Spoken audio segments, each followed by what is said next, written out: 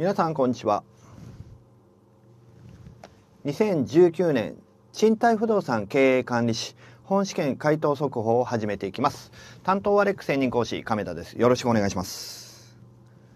はいそれでは、えー、本日ね、えー、皆様お疲れ様でした、えー、賃貸不動産経営管理士の本試験が実施されましたが、えー、まああのその第一感想ですがまずは例年と変わらず、まあ、問題数に関しては、えー、これも発表あった通りね、えー、40問。で、えー、出題範囲としても、えー、例年とほぼ変わらずですね、えー、おおよそ問いの1番目から問いの10番目ぐらいまでが登録関係の話で、で、問いの11番、2番、3番ぐらいからでしょうかね、えー、賃貸借の話がやはり、えー、10問以上続いて、で、その後は処方例、あるいは、まあ、後半になりますと、まあ、建築や設備の問題ね、まあ、若干多かったですかね。まあ、その並びなんですけれども、そういったね、えー、まあ、予想された範疇の範囲では、まあ、例年通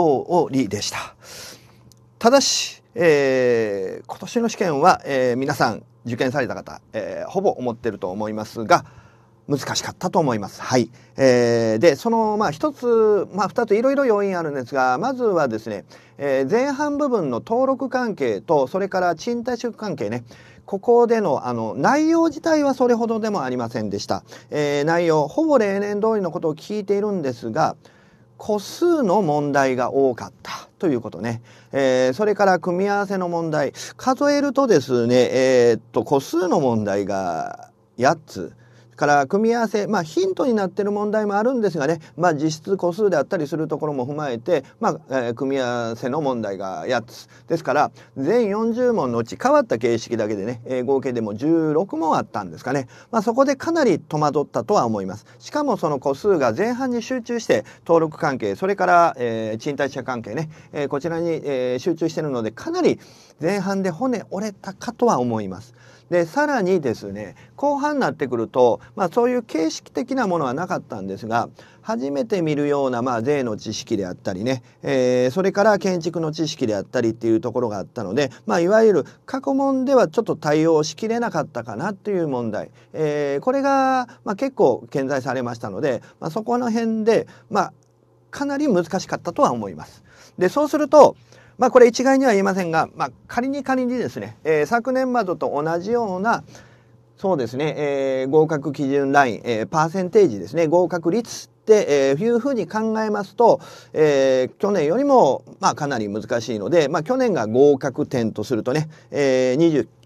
29点でしたからね、まあ、僕は去年に比べるとね、何点とは言いにくいんですけれども、それこそかなり難しかった。あるいはもう一丁難しかったかとは思いますのでね、まあ、そこは何とも言えないところです。それともう一つが、まあ、例年あるんですが、まあ、言葉の取りようとしてね、えー、まあ、どちらとも言えない、まあ、ちょっと回答が出しにくい。これは知識じゃなくて文の読み取り、えー、うんぬんかんぬんでありますのでね、まあ、そういったところも踏まえて、まあ、本当に、えー、しばらくお待ちくださいとしか言えませんのでね。ただしやっぱり今回やっていただきたいのは確実に分かっていたのに間違えてたところね、まあ、そういうところをね、えー、まあチェックしていただければと思います。はい。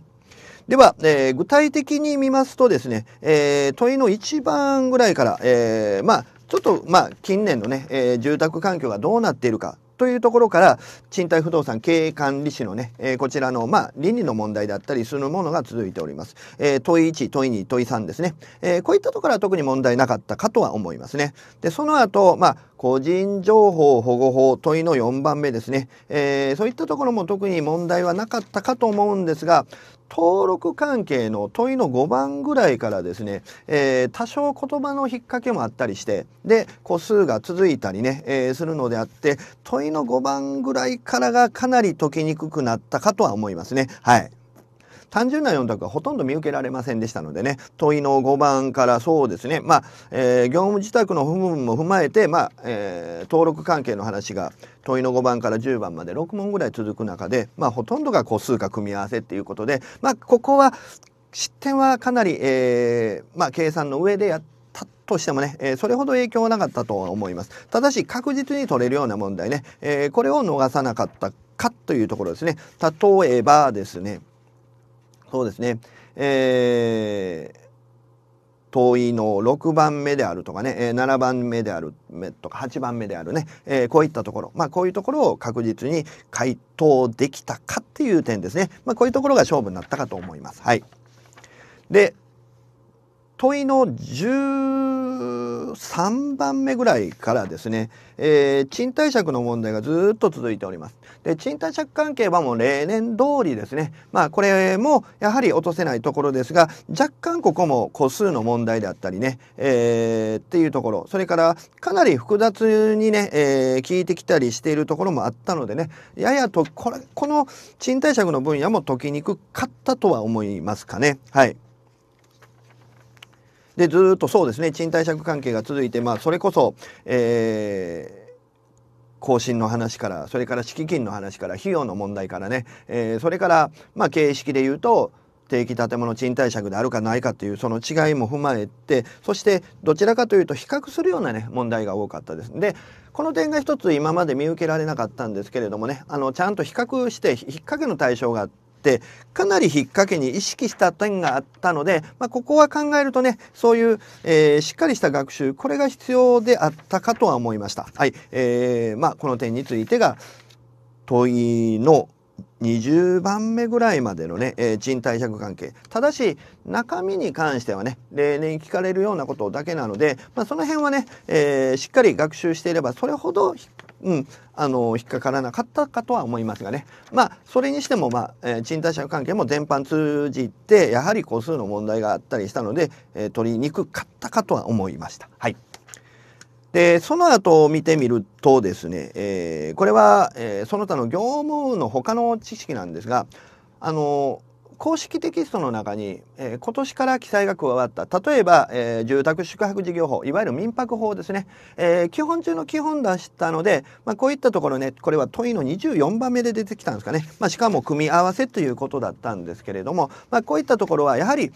あのまあさすがに分厚い公式テキストを全部読み返すってきついんですけれどもその公式テキストの中でねまあ今年、まあ、こういう記述が加わりましたよっていうところが素直に、まあ、読んでおくことまあこれがまあ、えー、一つポイントだったかと思います。それからあの一紙だけでしたがね不動産登記法に関しても出題されてそれが正解足になってましたかね、えー、そういったところもあるのでまあやはり実施団体の方がね、えー、こういう形で、まあ、取材範囲広げますとは言いませんがね公式テキストにおいてそして、えー、このように記載を増やしてるっていう以上はやはりその辺は対策取ったかということですね。はい、えー、でその中でそうですね問い番号の24番なんかはこれは、えー、先ほど言ったように住宅宿泊事業法でした。はい、えー、で、まあ、その時、まあ、住宅宿泊事業法の中でですねあの宿泊事業、まあ、だけじゃなくて、まあ、管理業との関係ね、えー、こういったところが、まあ、一つポイントとなりますのでただし内容的にはもう基本中の基本でしたのでね、えー、これはま回答はし、えー、なければいけなかったところでしょうかね。はい。というものでしたね。はい。それから実務知識の中でやはり税関係で今まで見られなかったような、まあ、例えばですねそうですね、えー、問い番号の36番のようなあの相続税、えーまあ、贈与税ですねそういったところ。まあえー、一度相続時生産家電を、まあ、選んだ後にそれ変更できるかいやできませんとかね。あの、まあ、知ってる人にとっては大したことないんですがなかなかそこまで手を伸びたかっていうのね、えー、微妙なところがありました。それから問いの35番の、まあ、不動産に関連する、まあ、税金に関してもねかなり突っ込んだとこなんかが聞かれていたのでねなかなか解きにくかったかとは思いましたね。はい、えー、税関係もやや難しい。それから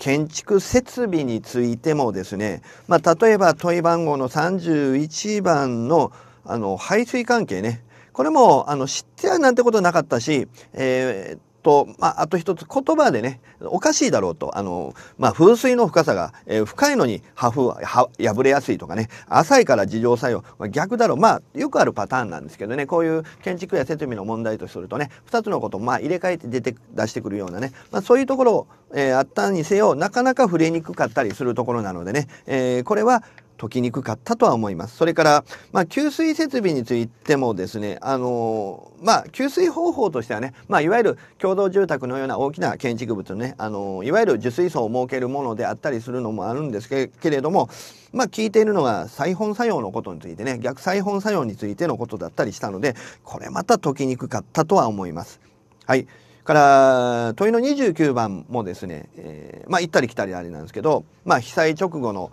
危険、えー、気球のね、えー、危険度判定、まあ、こういったところもズバリズバリっていうところなかったりしたのでね、えー、非常にここも解きにくかったってなると結構解きにくい解きにくいのオンパレードでしたね。えー、です。で、えー、そうなってくるとまあまあかなりパニック状態とは言いませんけどね、えー、まあそれに近いような精神状況になります。ただこれはみんな一緒なので、まああの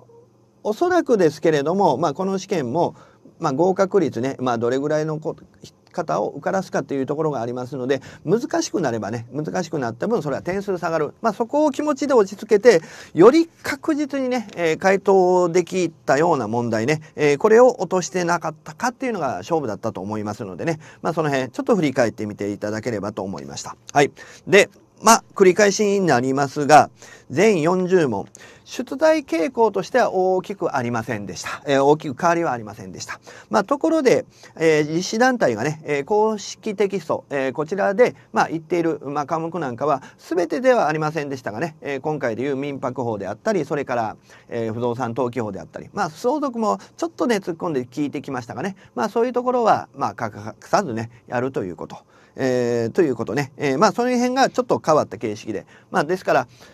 基本変わらずともやはりアナウンスがあったところはねちゃんとやっておくということですね。それと難しさなんですがこれは今後も続いていく可能性はかなり高いとは思いますね。えー、一つ、まあ、今回難しくなった要因としては個数や組み合わせの問題がいっぺんに増えたっていうことねそれから、えー、建築や設備の問題について今まで見たこともない税の問題も踏まえて、まあ、見たこともないような問題ね、えー、こういうのも多く見られました。はい、えー、ですね。ところが総合的に見るとやはりえー、そうですね。まあ20問から25問近くは過去問しっかりやってるこれは個数の問題も一緒なんですけれどもね、えー、確実に取れる問題があったので、まあ、そこをいかに取ってるかっていうのが勝負になったと思います。はい、えー、これもね繰り返しになりますが昨年がそうですね、えー、29点の合格点ですからそれを、まあ、今年も同じ合格率で、えー、来るとなると去年よりもねえー、うんうんうんうん門ぐらいは下がってくるでしょうね。まあこれは少しね、えー、時間を空けて待っていただければと思います。はい。では本日ね、まあとりあえずお疲れ様でした。そしてね、えー、まあ今後のこともありましょうがね、まああの、後ほど振り返ってね、えー、そして検討などをしていただければと思いますのでね。はい。では、えー、本日は以上にて解説終了します。お疲れ様でした。